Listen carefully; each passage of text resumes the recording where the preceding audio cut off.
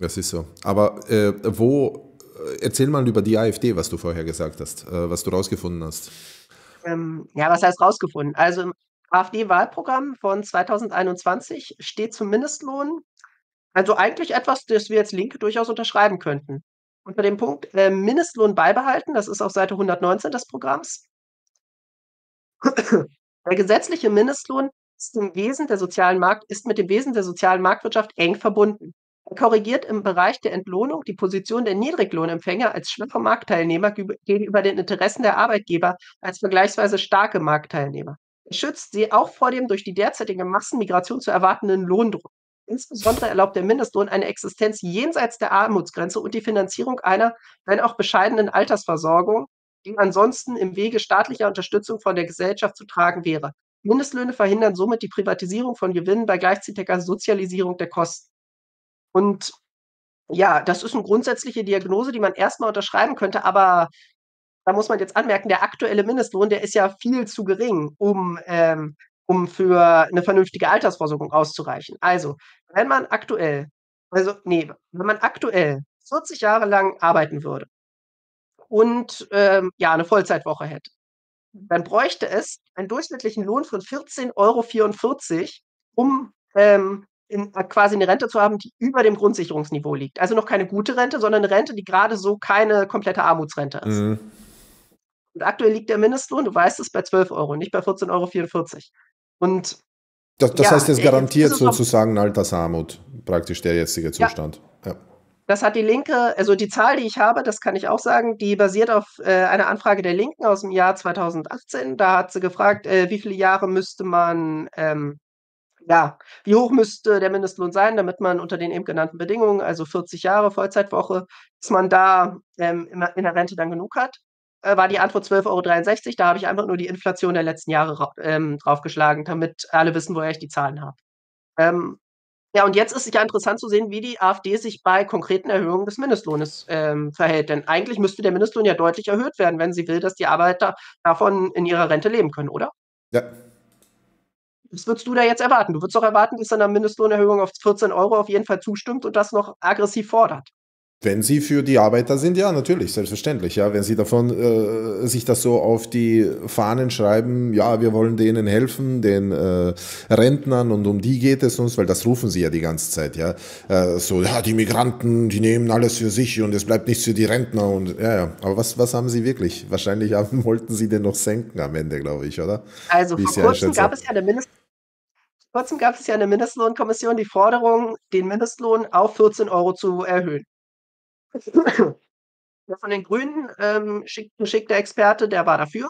Von der Ex äh, FDP geschickte Experte, Feld, der war dagegen. Der ist übrigens Mitglied in der Montpellerin-Gesellschaft. Ähm, das heißt, es kam auf die Kommissionsvorsitzende an, die SPD-Politikerin Christiane Schönefeld. Und die hat sich dann, Überraschung, dagegen entschieden. Das heißt, die SPD hat eine stärkere Erhöhung des Mindestlohnes verhindert. Das heißt, ein Linker, der würde jetzt auf jeden Fall sagen, diese verdammte SPD, die äh, eine stärkere Erhöhung des Mindestlohns verhindert, die hat sich gegen die Gewerkschaften äh, gestellt, die sorgt dafür, dass weiterhin Armutslöhne gezahlt werden, dass der Mindestlohn von 12 Euro nicht an die Inflation angepasst wird. Damit bricht sie eigentlich ihr wichtigstes Wahlversprechen. Also das würde ein Linker sagen. Die ja. SPD ist quasi schuld daran, dass die Mindestlöhne zu gering ist. Jetzt äh, kann man sich aber mal anschauen, was der AfD-Abgeordnete Jürgen Pohl, Mitglied im Ausschuss für Arbeits- und Soziales, dazu gesagt hat. Jetzt kommt ein längeres Zitat.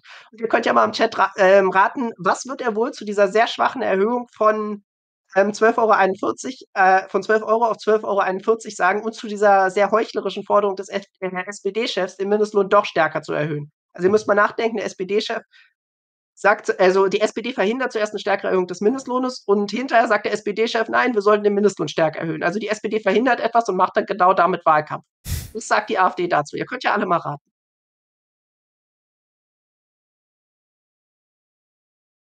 Ja, ich, ich weiß ähm, es nicht. Sag's der SPD, also ich zitiere jetzt Jürgen Pohl, also unseren AfD-Abgeordneten hier, der SPD-Chef Lars Klingbeil kann es nicht lassen. Seine nachdrückliche Forderung nach einer zügigen Erhöhung des Mindestlohnes auf 14 Euro ist realitätsblind. Umgeht die jüngste Entscheidung der Mindestlohnkommission und wird den neuen Streit in, der in die Regierungskoalition hineinbringen. Vor allem aber geht die Initiative am Ziel vorbei. In Zeiten grassierender Inflation haben alle Arbeitnehmer trotz erwarteter Leistung weniger Kaufkraft. Ach ja, dann sollte man doch eigentlich für die Erhöhung des Mindestlohnes sein. Das würde ich jetzt mal einschieben. Also, der AfD-Abgeordnete kritisiert Lars Klingbeil dafür, dass er den Mindestlohn ähm, ja, dass er 'ne stärkere Erhöhung des Mindestlohnes fordert. Also, die AfD setzt sich für einen geringeren Mindestlohn ein, nicht für einen höheren. Mhm. Wenn die Inflation frisst die Löhne auf. Laut Statistischem Bundesamt ist die Inflationsrate auf 6,4% gestiegen. Eine Bewältigung der Krise ist somit nicht in Sicht. Hier müsste die zerstrittene und konzeptlose Ampelkoalition ansetzen. Hier müssten endlich spürbare Entlastungen auf den Weg gebracht werden. Stattdessen führt Klingbeil über die Presse Diskussionen mit seinem Koalitionspartner der FDP. Das schadet den Interessen der Arbeitnehmer in diesem Land. So so viel von Jürgen Pohl, Mitglied der AfD im Ausschuss für Arbeit und Soziales. Das ist ja, was Sie den äh, Arbeitern die ganze Zeit einreden, nämlich dass äh, Mindestlohn eigentlich Ihnen in Wirklichkeit schadet, weil wenn Sie den Mindestlohn erhöhen oder es einen Mindestlohn gibt, dann werden die Arbeitgeber Ihnen leider keinen Job geben können. Und dann äh, sozusagen verlieren die Arbeitnehmer in Wirklichkeit. Wenn die Arbeitnehmer sich aber mit weniger zufrieden geben würden, dann könnte man jedem einen Job geben, weißt du? Was riesengroßer Schwachsinn ist. Natürlich, ähm, selbstverständlich. Wenn, wenn die Arbeitnehmer weniger Geld haben, kaufen sie weniger Produkte. Wenn sie weniger Produkte haben, was machen die Unternehmer? Sie fahren die Produktion zurück und entlassen Arbeitnehmer.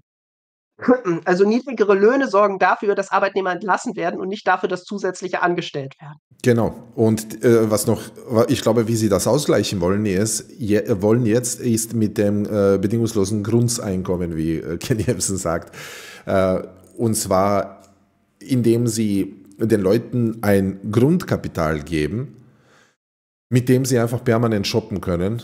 Und dann für dieses Kapital gehen sie dann aber äh, dann noch zusätzlich arbeiten, um aufzustocken. Nee, das will die AfD nicht.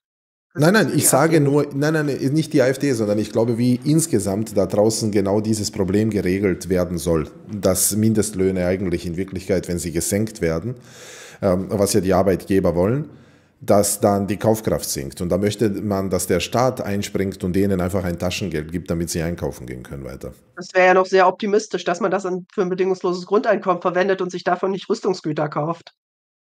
Ja, ja, eh, klar. Aber ich sage nur, also das ist ihre, das ist ihre Ding. So, wie weit das jetzt durchgesetzt wird oder nicht durchgesetzt wird, aber ich glaube, das ist der Grund, warum man sich für das Grundeinkommen äh, stark macht. Ja. Es ist einfach eine, eine Falle in Wirklichkeit. Ja, und dann kann man auch noch mal. Ja, ja, aber das hat jetzt mit dem Thema ja nicht so viel zu tun. Ja, ja, aber, ähm, aber es ist immer wichtig, das zu betonen, weil es gibt so viele Leute, die glauben, dass äh, das Grundeinkommen eine Rettung ist. Ja, das ist es nicht so einfach. Ja. Keine Einzelmaßnahme ist eine komplette Rettung. Das glaubt doch, glaube ich, niemand. Mhm, das sollte man nicht glauben. Ja, ja, sollte man nicht. Aber ich glaube, man muss immer wieder darüber aufklären, weil vor allem in linken Kreisen gibt es dieses so oh, bedingungsloses Grundeinkommen, eine gute Sache. Ja, gefährlich, sehr gefährlich. Ja. Ja, ja, aber ähm, ihr, also dieses ganze Zitat von Jürgen Pohl, was ich gerade vorgelesen habe, war, war auf jeden war ja relativ lang. Ich fasse es noch mal kurz zusammen. Er spricht sich dagegen an, äh, Entscheidungen der Mindestlohnkommission anzufechten, die ja offensichtlich im Sinne der Arbeitgeber getroffen wurden. Auf Druck der SPD. Das verschweigt er hingegen. Er verschweigt völlig, dass die SPD hier einen höheren Mindestlohn verhindert hat, sondern kritisiert die SPD jetzt dafür, dass sie einen höheren Mindestlohn fordert. Und dass die SPD hier komplette Heuchelei betreibt, das kritisiert die AfD überhaupt nicht. Das ist der AfD komplett egal. Mhm. Die AfD, auch nur die theoretische Möglichkeit, dass der Mindestlohn erhöht werden könnte, ist für die AfD schon eine Gefahr. Das heißt, dieses, ja, dieser Satz aus dem Wahlprogramm, der ist in der realen Politik am Ende nichts wert, von wegen, dass sie so hohe Mindestlöhne will, dass sich die Menschen davon der Altersvorsorge aufbauen können. Also das ist von der Realität hiermit vom Tisch gewischt. Ja, das also ist. Also falls Leute euch damit kommen, ey, guck mal, die AfD hat das doch im Wahlprogramm stehen. Mhm, mhm. Ja, ja, ich glaube, man kann nicht viel auf das Wahlprogramm der AfD geben. Also die, die würden alles Mögliche reinschreiben und dann das Gegenteil tun. Es ist jetzt nicht das äh, Ding, ja. Also von